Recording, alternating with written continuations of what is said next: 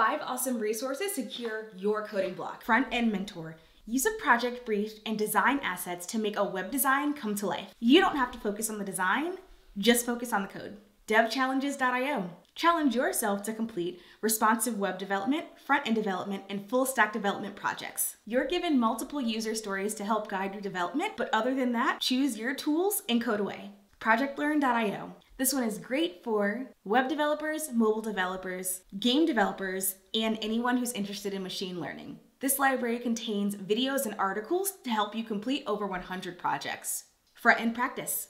The challenge here is replicating real life websites as best as you can. Use HTML, CSS, JavaScript, or your favorite libraries and frameworks to see how close you can get to the original design. JavaScript 30.